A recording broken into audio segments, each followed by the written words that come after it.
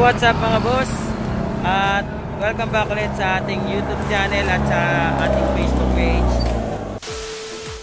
So ito yung mga boss, ipapakita ko lang sa inyo to. Uh, Beat FI. So bakit siya magpapalit ng harness? So mamaya tatanungin na din natin yung may-ari kung bakit siya magpalit ng harness. Tapos, ano ba yung posibleng sira? Kung bakit, misan nasisira talaga yung ECU. Naglolo ko, sira yung push start, ah, minsan marupok na yung mga wire.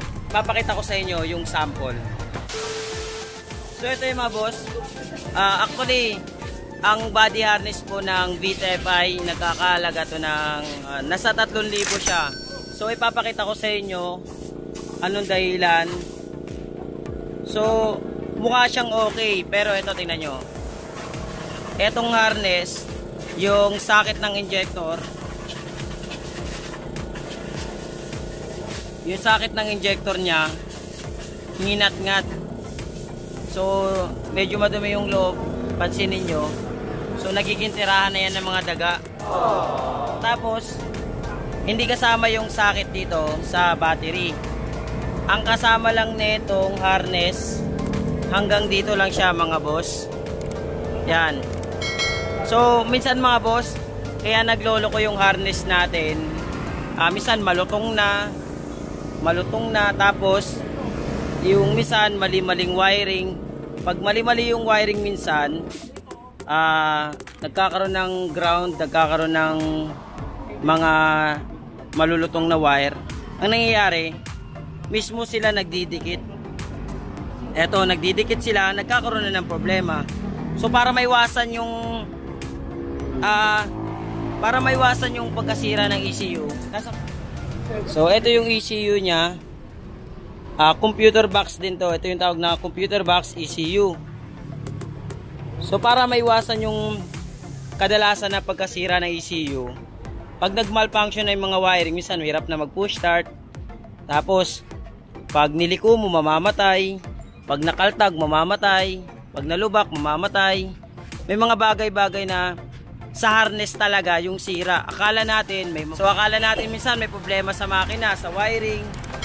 Yun pala talagang sakit dun sa harness. Malutong na, lalo na kung matanda na talaga yung motor. Minsan malutong na. Nagdidikit-dikit na sila sa sobrang katandaan. Nagdidikit na minsan may mga wiring ka na makikita na dikit-dikit na kasi ano yun eh, yung mga gantong part to, to. So mga dikit-dikit na yan sila. So ngayon tatanungin natin yung may-ari kung uh, ano ba yung naramdaman ng motor niya, bakit siya nagpalit ng harness. So ito yung may-ari. Paps, ba't ka nagpapalit ng harness? Paps, ano mga pa na? Bali po ano, papalit ako ng harness kasi yung motor ko namamatay siya. Tapos pag masyado nang mainit yung mga wire niya, tatlong beses ko siya i-kickstart bago siya mag-start. Minsan naman ayaw na talaga mag-start minsan tatlong padjak, limang padjak bago mag-start. Minsan isang start, ma-under siya pero hindi siya magagamit yung throttle. Mga palya, namamatay sa daan. Ganon. Tapos biglang magbi-blink. Nag Ewan ko, di ko minsan maintindihan kaya yun, nagpapalit na ako ng harness. Kasi bago pa ma madali yung ECU, talaga tama yung ginawa mo, magbalit ka ng harness. Kasi yung troubleshoot pa lang ng ano, ng harness, mahirap na eh. Tsaka mamaya, baka magkamali pa ng troubleshoot. Kagaya nung kanina yung socket mo na injector, ngat-ngat ng daga. Ngat ng daga. So lagi nyo dapat ano, palinis mo rin yung ilalim, Pops. Oo. Para hindi lunggaan ng daga. Opo, yun.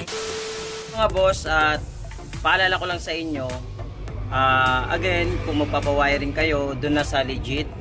At uh, huwag dun sa hula-hula wiring uh, isang caution sa pagkasira ng wiring. Again yung mali ang pagkasira ng harness yung mali-maling wiring. Kasi pag nagkamali ng wiring possible na magdikit-dikit sila sa sobrang init. Yun yung cause ng pagkasira din ng harness. Para ma para ma-avoid na din yung pagkasira ng ECU palitan na talaga yung harness.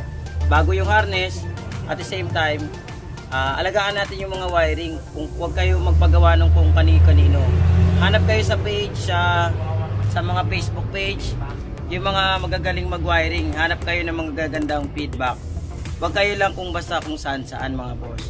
At bago tayo magtapos mga boss, ah shoutout ko lang muna tong mga followers natin. Ah shoutout kay Leonso Haladyaw. Shoutout natin tong si ito, si Wilson Naabay. Shoutout kay Mark Brian Hermoso. Ah, shoutout natin si Trens Rakuma Raka. Tapos, shoutout natin si RJ Guerrera Coco.